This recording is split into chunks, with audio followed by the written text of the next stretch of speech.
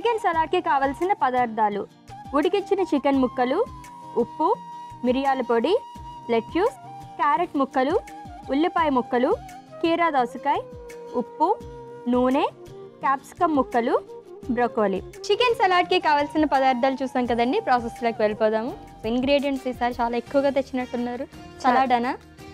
Salad అని and ఇంకా చెప్పుకుంటే చాలా తక్కువే తెచ్చాను. ఇంకెన్ని వెజిటేబుల్స్ యాడ్ చేసుకుంటే అంత ఫైబర్ అనేది మనకి పెరుగు ఇంటేక్ అనేది ఎక్కువగా ఉంటుంది. ఓకే. వెయిట్ లాస్కి కూడా చాలా హెల్ప్ అవుతుంది. అంటే ఇంటర్మీడియట్ ఫాస్టింగ్ అనేది కేవలం వెయిట్ లాస్కే చేస్తారా? లేదు. ఇంటర్మీడియట్ ఫాస్టింగ్ ఏంటంటే మనకి షుగర్ లెవెల్స్ తగ్గడానికి అండ్ వేరే ప్రాసెస్ని కూడా హెల్ప్ చేయడానికి చాలా హెల్ప్ అవుతుంది అనమాట బీపీ కంట్రోల్కి డయాబెటీస్ కంట్రోల్కి కూడా ఇది చాలా హెల్ప్ అయిన సిచ్యువేషన్స్ మనము చూసుకున్నాం సైంటిఫికల్గా కూడా.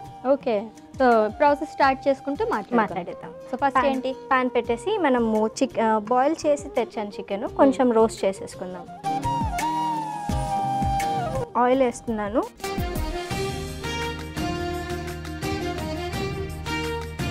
చికెన్ వేసేసుకుంటున్నాను ఇప్పుడు.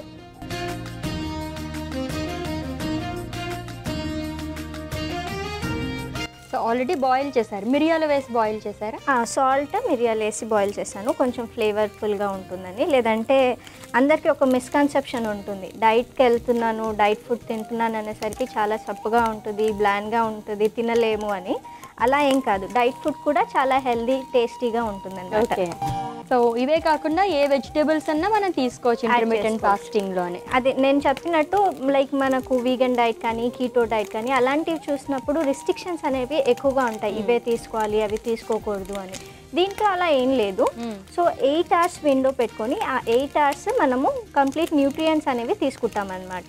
ఒక హెవీ మీల్స్ తీసుకుంటాం ఆ ఎయిట్ అవర్స్లో. కంప్లీట్ సిక్స్టీన్ అవర్స్ మనం ఫాస్టింగ్లో ఉంటాము. ఓకే. అసలు ఇంటర్మీడియట్ ఫాస్టింగ్ అంటే ఏంటి? ఇంటర్మీడియట్ ఫాస్టింగ్ అంటే నేను చెప్పినట్టు sixteen is to eight ratio ఉంటుంది. అదేంటంటే సిక్స్టీన్ అవర్స్ ఫాస్టింగ్ కంప్లీట్గా and eight hours is eating window అంటే మనం ఏదైతే తింటామో స్నాక్స్ కానీ నట్స్ కానీ మిల్క్ తాగడం కానీ అవన్నీ కంప్లీట్గా ఎయిట్ అవర్స్ లోపే మనము తినేసేయాలి. ఓకే అండ్ మిగతా కంప్లీట్ సిక్స్టీన్ అవర్స్ ఫాస్టింగ్లో ఉండాలి. ఎంతెంత గ్యాప్ తీసుకోవచ్చు? ఈ eight hours window.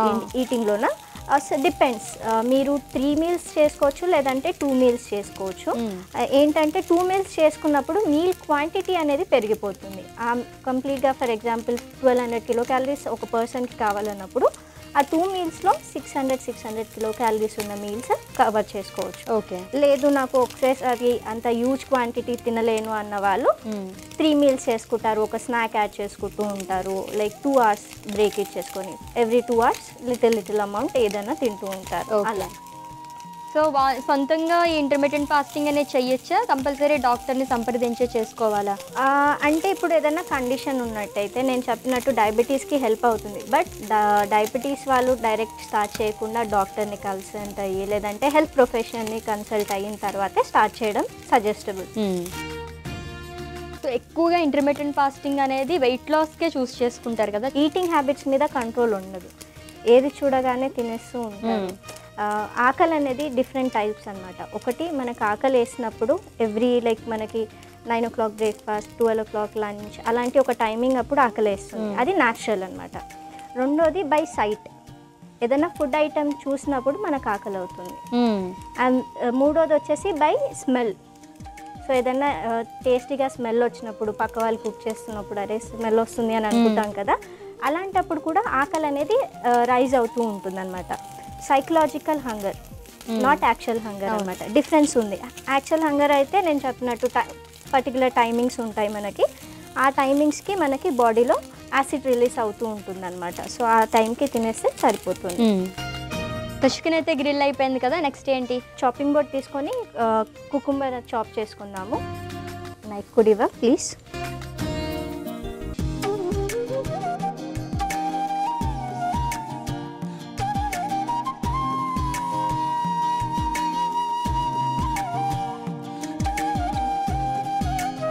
Water content అనేది ఎక్కువగా తీసుకోవాలా వీళ్ళు?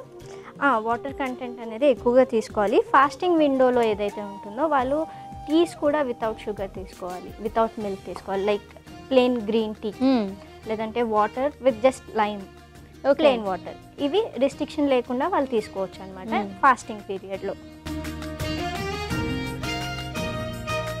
కుకుంబర్ యాడ్ చేస్తున్నాను.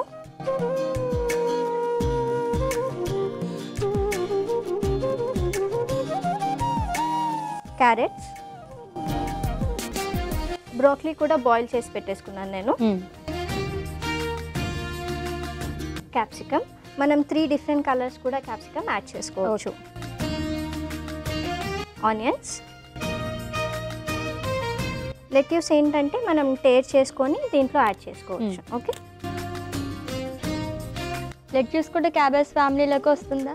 లెట్యూస్ రాదు క్యాబేజ్ ఫ్యామిలీకి. బ్రాక్లీ అనేది క్యాబేజ్ ఫ్యామిలీకి వస్తుంది. Broccoli okay. వస్తుంది. ఎవరికైతే ఇలా ఫుల్గా తినాలని ఇష్టం ఉండదో వాళ్ళు చాప్ చేసుకొని దీన్ని లెట్యూస్ని యాడ్ చేసుకోవచ్చు. సలాడ్ డ్రెస్సింగ్ ప్రిపేర్ చేసుకుందాం మనము. ఓకే. ఆయిల్ పెప్పర్ వేస్తున్నాను. ఓకే. హాఫ్ స్పూన్ ఫ్లేవర్స్ని బట్టి చిల్లీ ఫ్లేక్స్ కూడా లేదంటే పెప్రికా అలాంటి కూడా మనం యాడ్ చేసుకోవచ్చు. హాఫ్ స్పూన్ సాల్ట్ వేసాను. అండ్ దెన్ లెమన్ స్క్వీజ్ చేసుకుంటున్నాను. హాఫ్.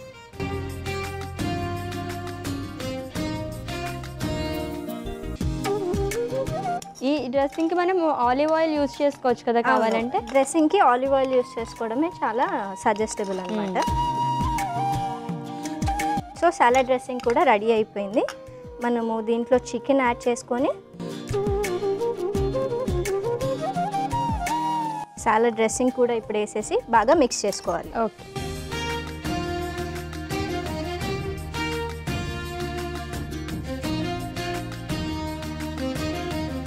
అయిపోయింది అశ్విని మనం సర్వింగ్ బౌల్లో తీసేసుకుందాం. ఓకే. మీకోసం గార్నిష్ చేసిన సర్వింగ్ ప్లేట్ తీసుకొచ్చాను. థ్యాంక్ యూ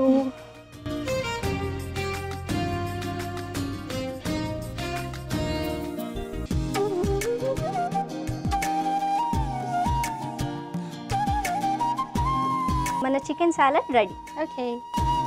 So చూసారా కలర్ఫుల్గా ప్రిపేర్ చేసేసారు. చికెన్ సలాడ్ చాలా బాగుంది కదా చూడడానికి. మరి టేస్ట్ చేసేస్తాను. అంతకన్నా ముందు దీనికి కావాల్సిన పదార్థాలు తయారీ విధానం ఒకసారి చూద్దాం. చికెన్ సలాడ్కి కావాల్సిన పదార్థాలు.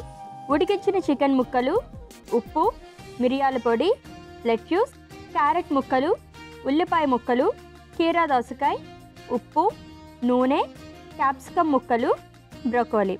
చికెన్ సలాడ్ తయారు చేసుకునే విధానం. ముందుగా పొయ్యి వెలిగించి పాన్ పెట్టి నూనె వేయాలి. ఆ నూనె వేడెక్కిన తర్వాత ఉడికించిన చికెన్ ముక్కలు వేసి ఫ్రై చేసుకోవాలి. తరువాత కీరాను ముక్కలుగా కట్ చేసుకోవాలి. ఇప్పుడు ఒక మిక్సింగ్ బౌల్ తీసుకుని అందులో కట్ చేసుకున్న కీరా ముక్కలు క్యారెట్ ముక్కలు క్యాప్సికమ్ ముక్కలు ఉల్లిపాయ ముక్కలు లెట్యూస్ వేసుకోవాలి. అలానే ఒక బౌల్లో నూనె మిరియాల పొడి ఉప్పు కొద్దిగా నిమ్మరసం వేసి అంతా కలుపుకొని సలాడ్ డ్రెస్సింగ్ని రెడీ చేసుకోవాలి. ఇప్పుడు మిక్సింగ్ బౌల్లో ఫ్రై చేసుకున్న చికెన్ ముక్కలతో పాటు తయారు చేసుకున్న సలాడ్ డ్రెస్సింగ్ని వేసి అంతా బాగా కలుపుకొని సర్వింగ్ ప్లేట్లోకి తీసుకుని సర్వ్ చేసుకోవాలి. అంతే చికెన్ సలాడ్ రెడీ.